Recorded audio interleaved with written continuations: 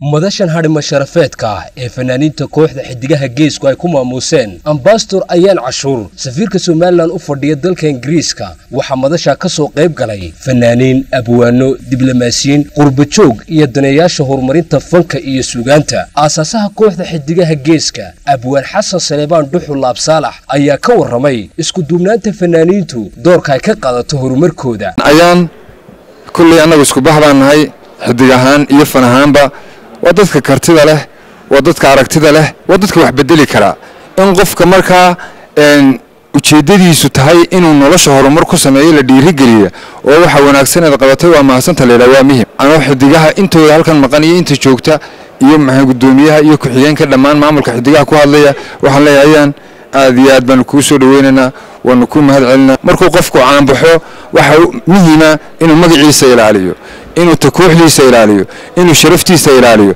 Xidigaha geeska intaaba waxaan uga marakacayaa waxaan ku ammaanayaa inay yihiin dad maxay ahayday dhaqan ahaan iyo xurmo ahaan iyo muuq ahaan intaba ka dhisan. Soomaali weeg keliyaata xidigaha geeska iyo inta tagta danu ma aha. Keliyaata ayaana danu ma aha. Waxa uu dan u yahay cidda ku abtirsata ereyga iyo afka soomaaliyeed.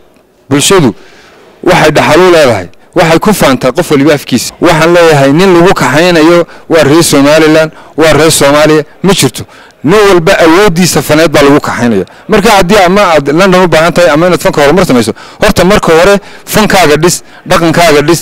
Axmed weli maxamuud furule ayaa goobtaa ka hadlay. Qurbajoogta waxaan leeyahay. On meesha waa meeshaan idinla soo aragnay.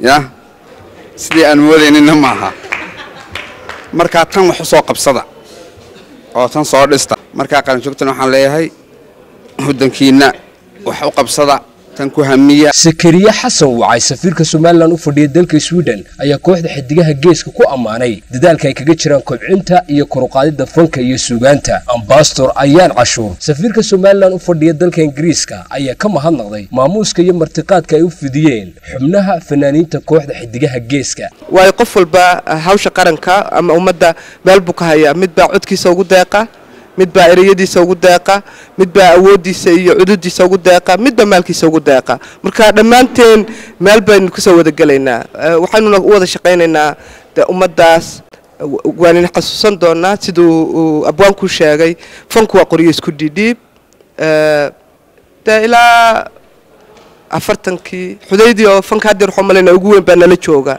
Ilaa xilligaa ahaa dadka cadan inooga yimid oo halkan soo dega hargeysa ilaa xilligaa ilaa maanta wuxuu ahaa qoryo isku dhidhiib